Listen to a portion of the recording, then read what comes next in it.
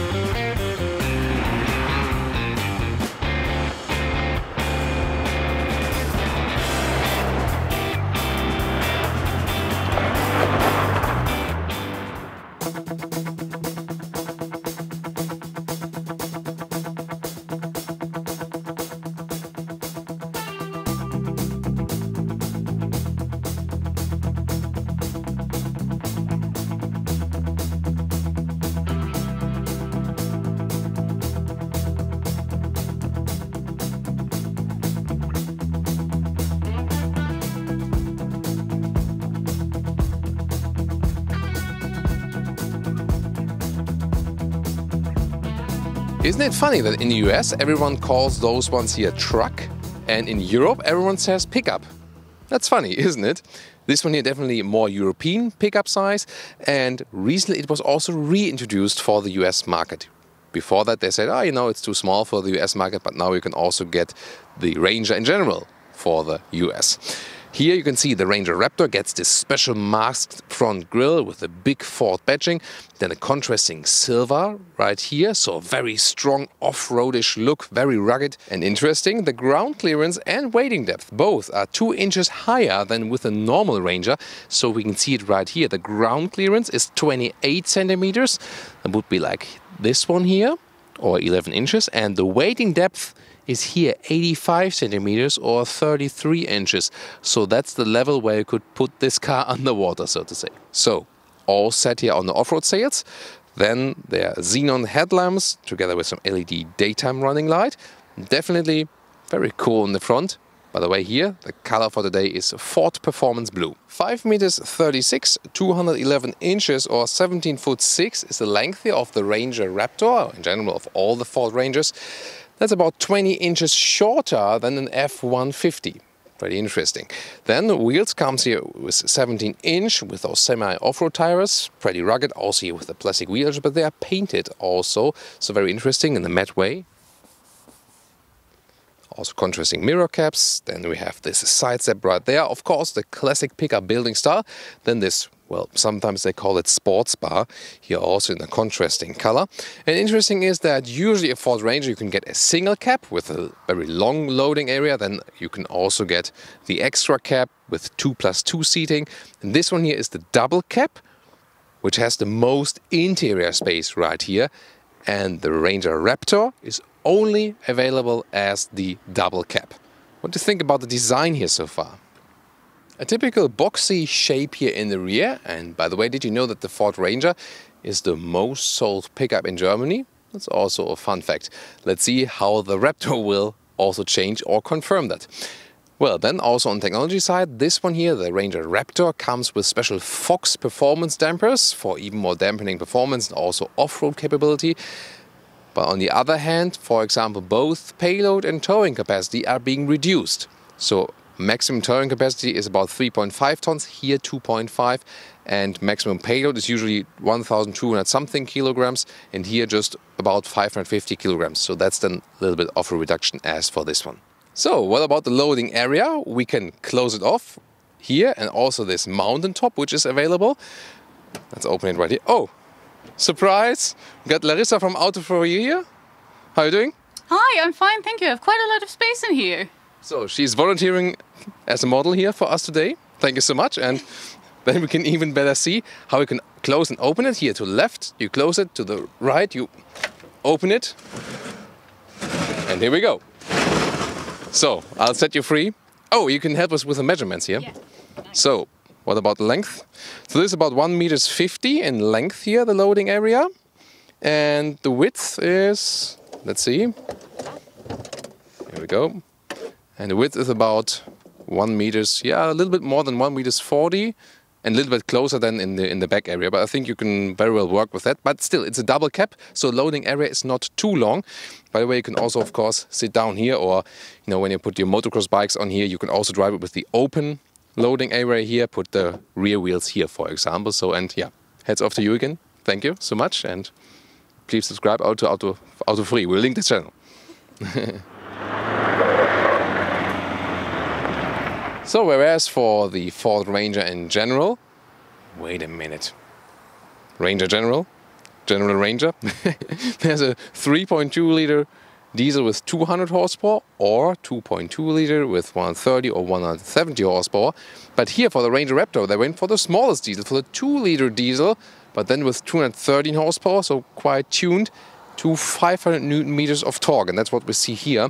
And 10.5 seconds is the acceleration figure to 1 kilometers an hour or 62 miles an hour. And thinking about our friends in the US, the Raptor is not available there yet, but there are rumors that you guys will get a V6 Raptor then.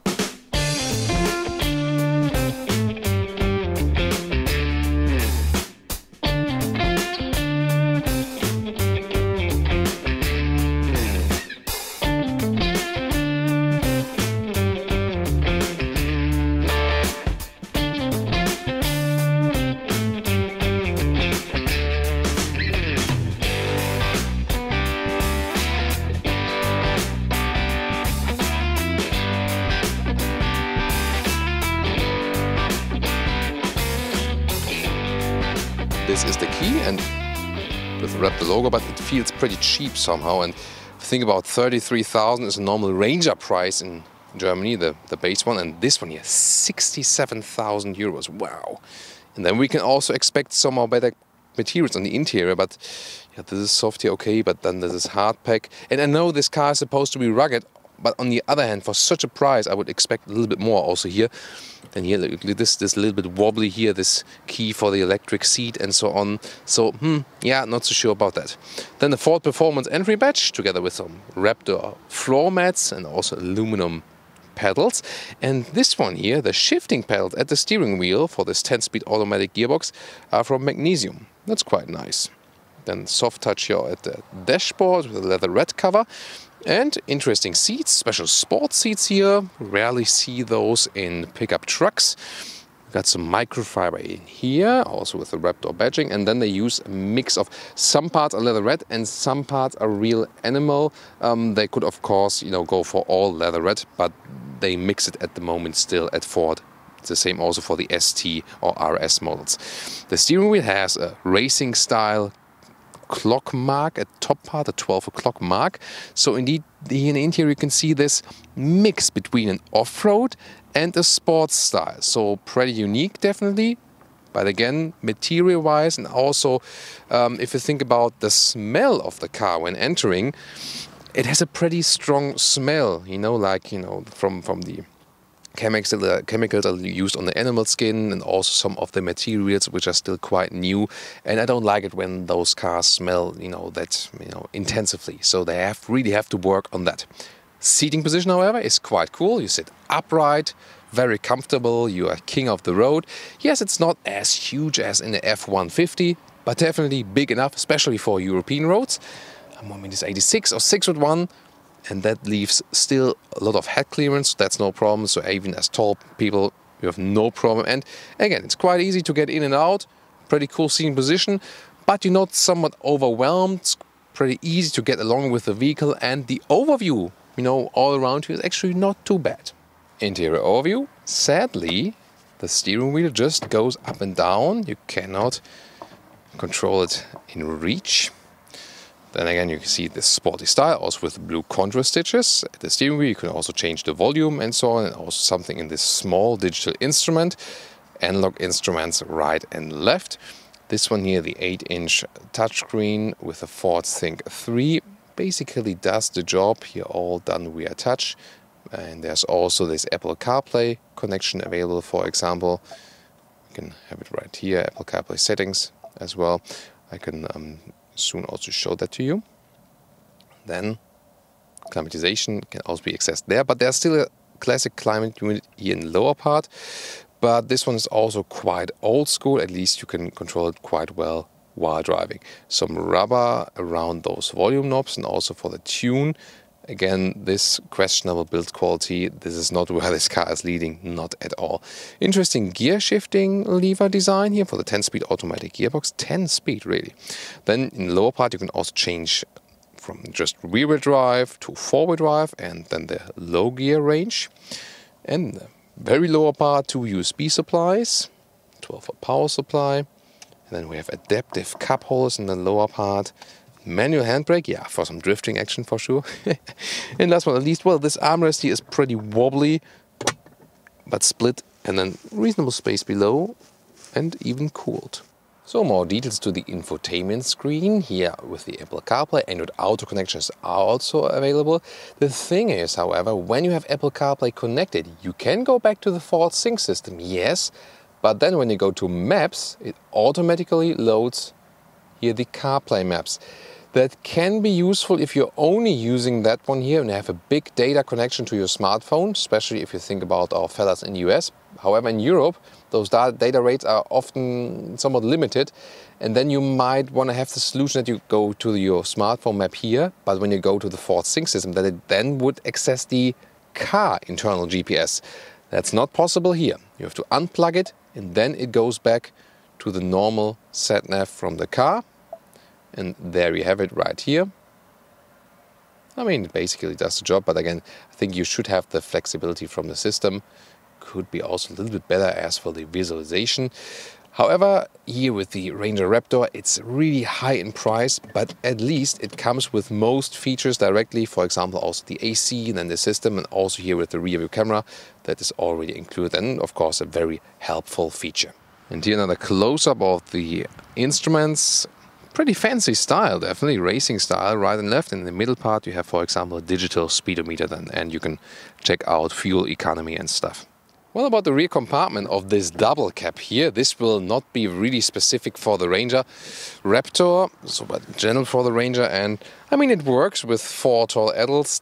You know, with those sport seats, of course, maybe a little bit less legroom. It does directly fit. I do hit the seat with my knees when I sit as I would be driving, but again, it's still quite okay. Headroom wise, of course, it's not a problem. And you sit quite upright in here, so it's still decently comfortable. And of course, you can also use this area here also for luggage if you're just traveling with two in the front. You can also have a third seat here, that's standard. Then you have here some cup holders, which are not adaptive. Then in the middle tunnel, right there, there's 12 volt su supply and a 230 volt supply. I have both right here. And what's also very interesting, so I get out, out at the other side because I want to show it to you. You can also flip this bench if you think, you know, like a toolbox or something you don't want to put on the seat, so not to damage them. Then you can put this one down, and then you can put stuff right here. But hmm, yeah, I mean, obviously doesn't go any flatter, but it will go probably a little bit flatter when you put some more weight on it. Um, I'm not sure if that's really a very handy solution as for that. And the other possibility would be to flip the rear area up and then uh, you can fix it right there. And then you have some tools here, like for the emergency kit and so on. Um, or you can use this one again as for storage. At least you're a little bit flexible than here with the rear area. But as we've seen recently in the Dodge Ram, for example, they had some more better solution there. Welcome to Thomas's driving part here, or the driving lounge as I call it, with the Ford Ranger Raptor. And I have been driving this car here as the Ranger Wildtrak a while ago, a while ago. so you can also tune into that review if this version is relevant to you maybe, or more relevant to compare it. Here, of course, special as for the riding experience, this newly tuned diesel and also those Fox performance dampers. And um, indeed, I mean, this car is still somewhat an off-road truck, but the dampers definitely make it stiffer. So usually in the Ranger, you would you know have more shaking up effect here, but here when I really go some slalom alike, the car doesn't shake up too much. So those performance dampers definitely hold it stiffer, and you know maybe they're also braced for a bigger impact. So yes, you can theoretically also do jumps with this car, but I mean, come on, who does that for real? so and then it is then a little bit more fun to drive with the Ranger Raptor. So you have a little bit more sporty fun if you can have sporty fun with such a vehicle. Of course, that's still limited. The steering is pretty light and not too direct. There, the off-road character of the car still takes place um, because off-road you need you know a little bit more steering weight and so on. But that's also totally fine. It gives you a decent overview to the rear and also to the side, so you have a good feeling for the car. And indeed, it doesn't feel too big, it doesn't feel too heavy, so you can still get along also in somewhat narrower surroundings. And here, those shifting pedals, they are nicely done. Gears react quite well, so you can always go back a gear. For example, if you, you know, let's say, um, go downhill for for for a while or something and um, then want to shift down some gears so you can do that. And of course up here uh, also shifting up if you want so you can really beat in control. Other than that this automatic gearbox does a good job in you know putting through the gears let's see let's cancel the route right here well this roundabout here you could also just go straight here up the pavement and this is nothing for the car. So this is also a quite good uh, feeling when you're going over some speed humps or so. Bam, just right over them, and that's it. Of course, you shouldn't drive faster um, due to that uh, due to that fact. But still, you know, quite fun here with this upright and high seating position. You sit well above the road, have this good overview, and a little sportier ride. So I would say yes, this one here is more fun to drive than a normal Ford Ranger, and this is also one of the things they intended to, to have. The diesel here, by the way, it really depends on which gear you are in. When you hammer the throttle a little bit more, yes, we are just following a toilet, a driving toilet, yeah. Maybe some of you guys already noticed this. There's a driving toilet in front of us. it's not quite often that you have a driving toilet in front of us on uh, front of you on the road, right? So yeah, always interesting live aspects. By the way, this blinking or beeping sound you sometimes hear, this is actually when you exceed the speed limit. So, and you can turn it off because after a while it can get a little bit annoying, definitely. So, we'll go uphill also over some bumpy roads here. And so far, suspension masters that very well. Of course, you have a little bit less dampening comfort than when the dampers are a little bit stiffer. You have to be in mind, uh, be aware of that. Yeah, the diesel picks up the speed quite well, so gives you quite good performance. Also, sound-wise, it doesn't sound too much like an old-school diesel. I like that. You know, still hear that it's diesel, yes, but you know, somewhat a re refined sound, definitely. And now it also gets interesting, can I still get along very well when I'm here in a more narrow surrounding? And I have to say, actually, yeah, this is not a problem. And especially when there's altitude change, you always enjoy driving this car. Um, it's a little bit like, you know, it's, it's meant to for altitude changes. So, and I think it's very important to test different driving surroundings here in our driving tests. Look again when I, for example, here now 9 degree turn, how far I have to turn the steering wheel. That's again the off-road character of this car. So, but I mean, it's still suitable here for this little bit narrower roads. No problem in easing around this vehicle here. And so far, the engine also feels quite good for that. Yeah, I mean, when you at one point maybe get a V6 petrol in the US, it will of course be even more fun, no doubt about that. Fuel economy, oh, this beeping sounds so annoying. It's, it's always an oh, when you drive like 32, 33 or something, it already starts beeping because you have exceeded the 30 speed limit which we have here now at the moment.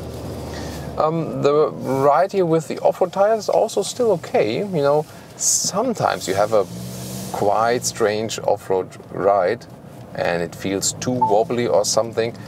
But here it's definitely still okay. So, you know, they say all-terrain tires, and I can I can confirm that you can still drive them on the road. And I also have to say, the car is not exceptionally loud or something. You know, some from some older uh, pickups or, or trucks, or we call them in the US, mm, they feel pretty rough also as for the noise insulation. And that is actually quite well done here. We also soon approach an area where you can drive a little bit faster, but so far, you know, it handles quite silent and also relatively sporty indeed for such a vehicle. So the more I drive this version here, the more difference I definitely feel to the Wildtrak because it's, you know, just so so much more agile to ease around, especially a little bit more narrow surroundings. You know, acceleration again.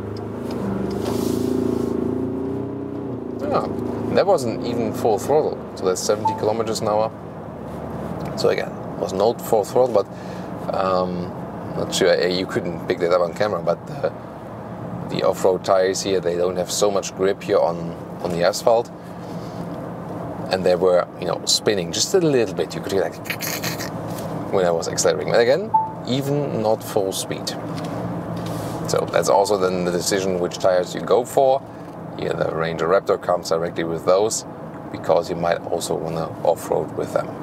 If you just want to go on-road, yeah, it might be um, might be worthwhile thinking about a different tire choice then probably. So now we get on the motorway. Also to give you some speed right there and check out the noise insulation at higher speeds. So here we go. If you, by the way, you know, want the car to pick up the speed earlier, then you can shift back yourself. It's more about the gear you are in actually, and then you can also give it a go. If you want to go to automatic shifting mode again, just hold the right upshifting pedal. So now, what about an acceleration on the motorway? So we go from about 70 kilometers an hour to, let's see,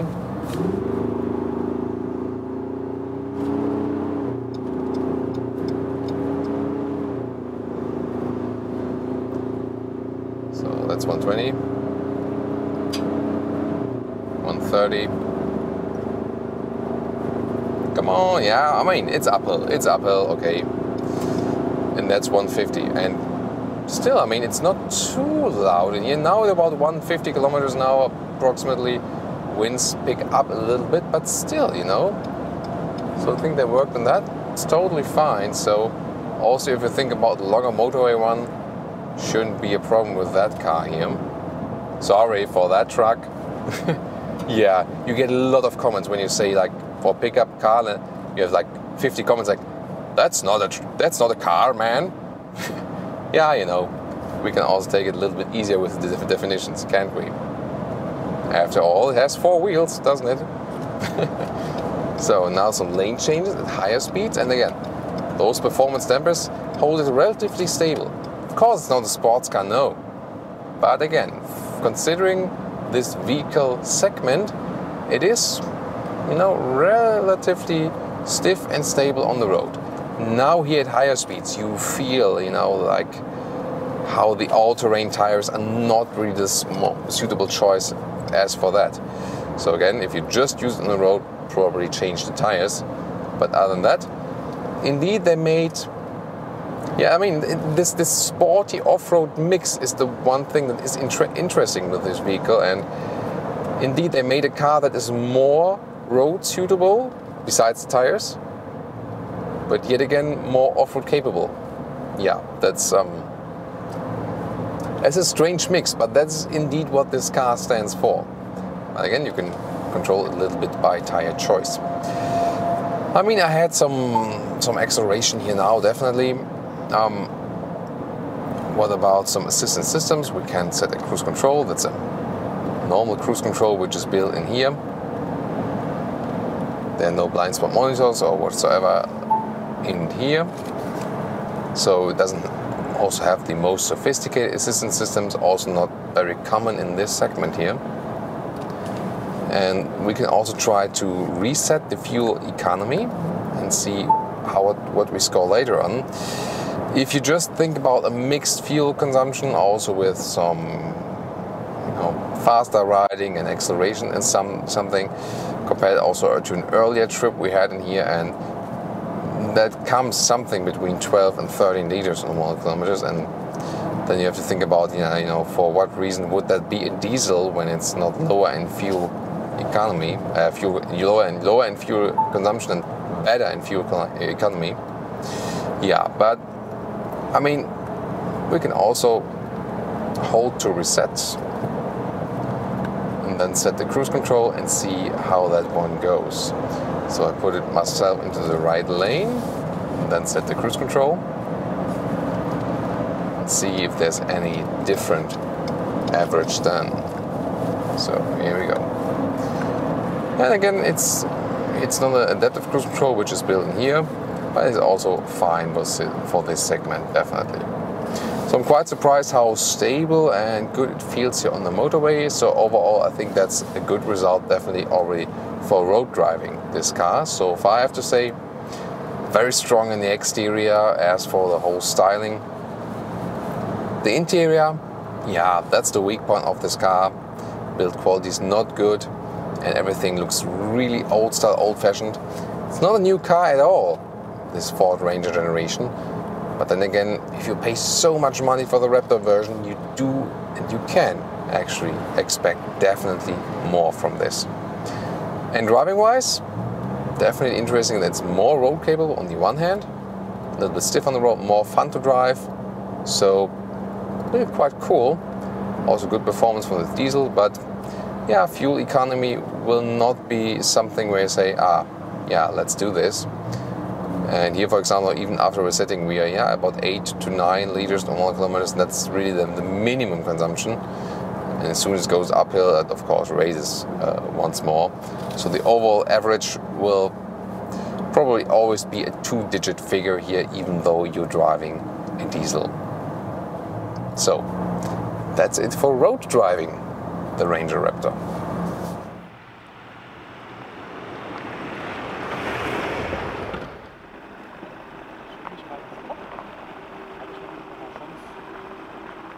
So guys, welcome to our off-road part and we went to neutral and then went into the 4H, so the all-wheel drive mode and we also activate the rear differential lock. So we have great traction and also when going uphill. But first we start here with some water and always keep it slow and steady. But I mean, this has here some significant wading depth, but always fun to drive through water. Always looks better from the outside, of course. And now we get uphill, and for that, you know, it's um, slowly uphill at first, but then it gets steeper. So we can go to the neutral again and go to the 4 low mode. Then you have the off-road gear reduction. So that's already switched. And then we can get even more traction to ground. Not high speed, but more power at slow speed and also more controlled. Then thumbs out of the steering wheel in case you know it doesn't you know dislocate my thumbs then. So you can put them on the steering wheel and now we drive uphill. This suspension here, the performance suspension, is stiffer on road, but it's also stiffer off-road then of course. So it is very rough off-roading, so that's the disadvantage. It gets really rough in here. I mean, it's also rough low ground, but it's very, very rough and definitely to feel it. So that's the downside. The tires, however, they hook up great. So those off-road tires are really awesome here. So there's no traction loss whatsoever. So I'm you know, really keen on those tires in the off-road performance. Not so keen on those on the on-road performance. And again, suspension, keen on the suspension on-road performance, but not keen on that off-road. So it's it's a mix, you know. So usually for off-roading, you would need those tires with a softer suspension. For on-roading, you would need the stiffer suspension, then with the on-road tires. so yeah, that's that's probably the compromise they um, try to go there. So, and here, you know, a lot of fun, pretty agile to drive it also off-road. Here now, this is again a situation where you know, one wheel is in the air and the other one is not, and the car is really working underneath us. So that's um, again really cool to look like from the outside, and the car is really handling that very well. Now I felt that the wheel was touching the ground once again, just slowly and steady through here. Of course, when we are in this rear differential lock mode, when I'm, for example, doing a turn here now on, on the, you know, on the gravels, then I hear and feel how, you know, how the wheels on, on, on the back are also at the same speed. And you hear how they're working at the ground. Usually differential does the job that it's evening out the speed, you know? So because one, the, the outer wheel spins faster than the inner wheel, and here when you have the differential lock, both spin in the same speed. And therefore, you know, they're really working against the ground. Pretty interesting, definitely, when, when driving off-road with the differential lock. And now we're going down. There you are. Not sure if you could pick it out on camera, but really heard it how they dig in the ground because the inside wheel is, of course, not spinning at the correct speed when you, you know, would be driving the corner. So now we can activate the hill descent control. There's a button for that activate it also while driving. And now it keeps the speed as the car was in. You maybe also hear the car braking automatically. I'm doing nothing here at the moment. And you can increase the speed just hitting the throttle a little bit and then braking it again. And then the car keeps the very speed that you put it in. So here at the moment at 10 kilometers an hour, that's still quite okay. And also, we know with some loose gravel here on the ground and those tires here, they hook up so greatly. So again, you know, they have a very open profile and they also clean themselves very fastly. So yeah, that's actually, you know, it's, it's quite fast. We're going down here and there's no traction loss whatsoever. Pretty, pretty nicely done. So we're now in the next corner. So definitely enjoying ourselves here in the off-road drive with the Ford Ranger Raptor. Now, with the little bit of limitation that the suspension is really quite stiff for off-roading. So, definitely a fun experience, guys. And now to our conclusion for today with the Ford Ranger Raptor. Styling wise, really cool on the exterior, so strong. I really love it, especially you know this relation to the F-150 Raptor. And it works and it's also a little bit more agile than the F-150 because it's just smaller.